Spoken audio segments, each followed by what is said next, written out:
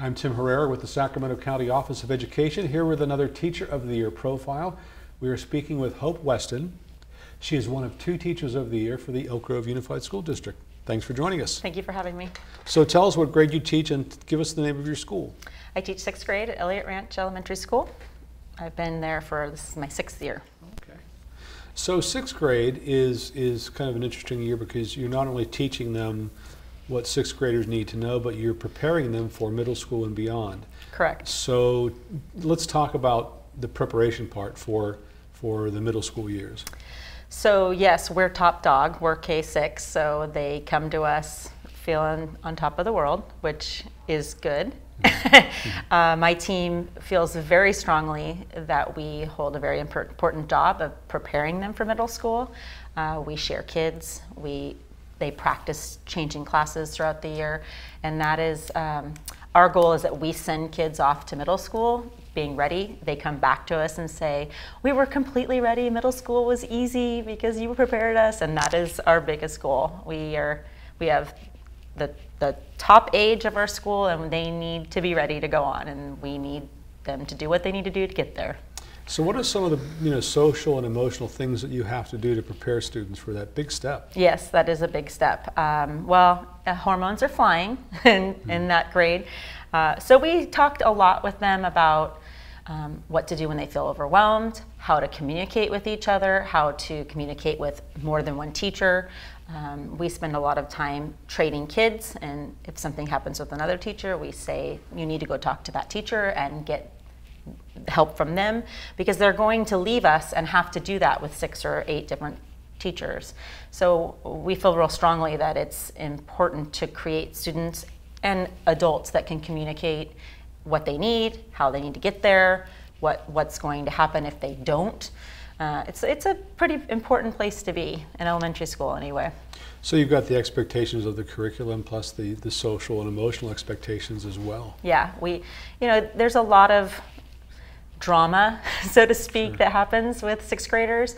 And ultimately, what that is, is learning to communicate with other people. And so that emotional piece will help them later years in school, later years in life, when they have to communicate with people. That's what life is about. So, what do you enjoy about teaching that age group? You know, I have taught second through sixth grade. Uh, I did about a month in kindergarten. and when this job presented itself to me, I'd never taught sixth grade, and I was really scared. I was very nervous. Sixth grade seems scary in the elementary school world. Uh, it took about a week, and I knew it was the place I was meant to be always. Uh, I love sixth graders. They are funny.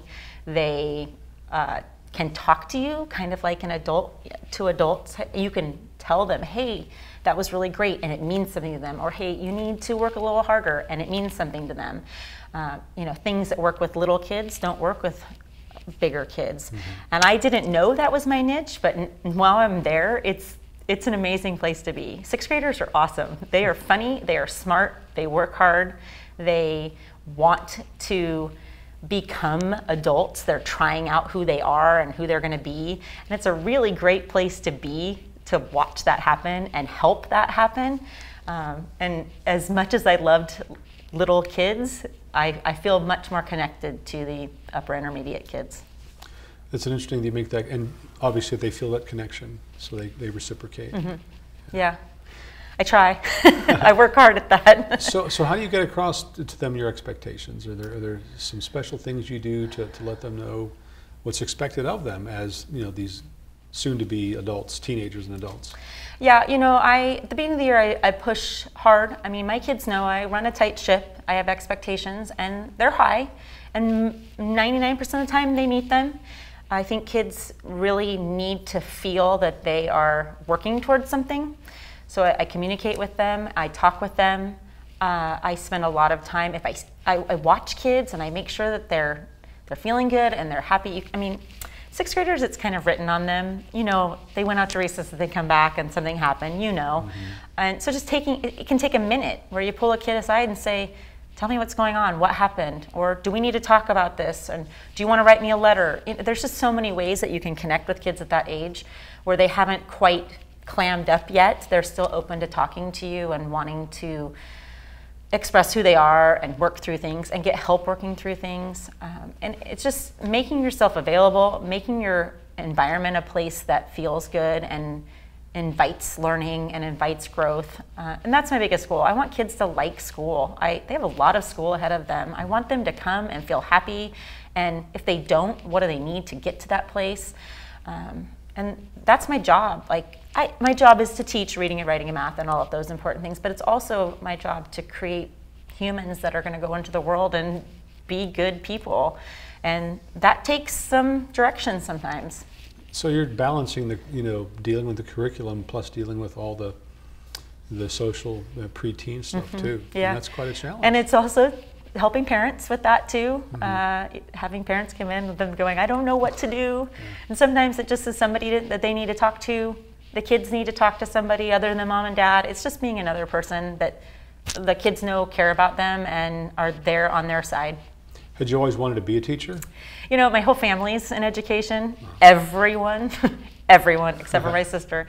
And so it's all I ever really knew. And I went to college and I tried a few things and then it got kind of down to the wire and I thought, okay, well, I guess I'm going to do this. Uh, I was a little bit of a troublemaker in my younger days, and I, when it came down to it, I was like, okay, make the decision. It took about one day, and I was like, yep, this is where I'm supposed to be, and it, everyone around me knew that's where I was supposed to be, but I didn't quite know it yet. They just waited for you to come. Just around. waiting, and, and when I talk to people now, like, of course that's what you were going to do and it, I, I can't imagine doing anything else. It's such a fun job. So you come from a family of educators. Mm-hmm. Was people in your family, who's the most inspirational for you as being a teacher? You know, my parents were incredible teachers. I knew it at a really young age. Uh, my mom was a primary teacher. She taught kindergarten through second grade.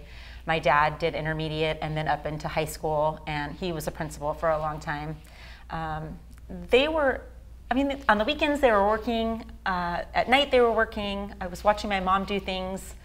When I got my job, my mom showed up with boxes of books that she'd been saving for uh-huh. years for me, new, old.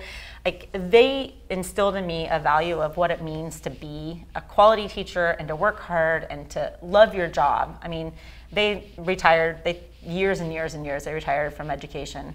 My grandmother taught high school English for 50 years. Like, it's it's in my blood. Um, and I just grew up watching them and knowing that school was the most important place for them and the students that they were teaching. So then, uh, how do you talk to people who are considering being a teacher? I mean, if you're a mentor, let's say, you know, what are some of the things that you, you talk to them about to kind of encourage them to consider this?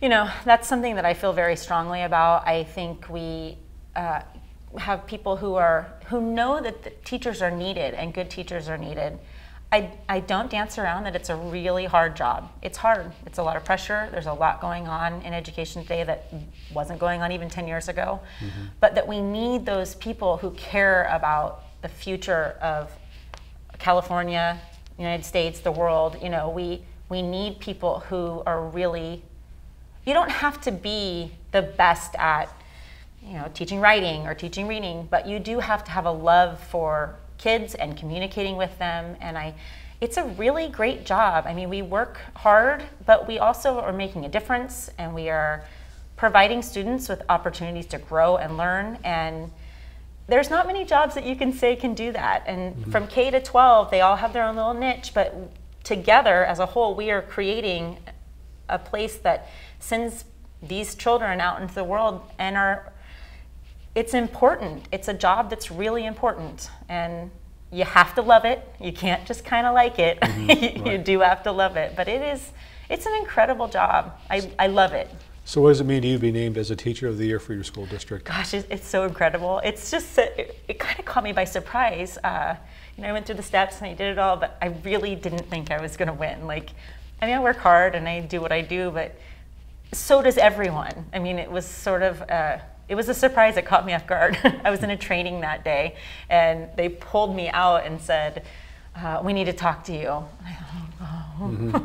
and my kids were out there, and they had the balloons, and, the, oh. and it was just such a, a neat thing that I think everybody should get the opportunity to witness and be part of.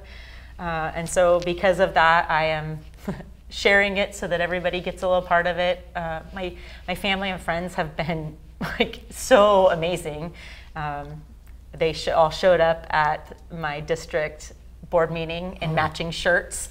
Uh, it, it's just been an incredible ride. It's I feel very blessed to have gotten to do this. Well, congratulations Thank to you. you. We've Thank been you. speaking with Hope Weston, who is one of two Teachers of the Year for the Elk Grove Unified School District. Thanks for joining Thank us. you.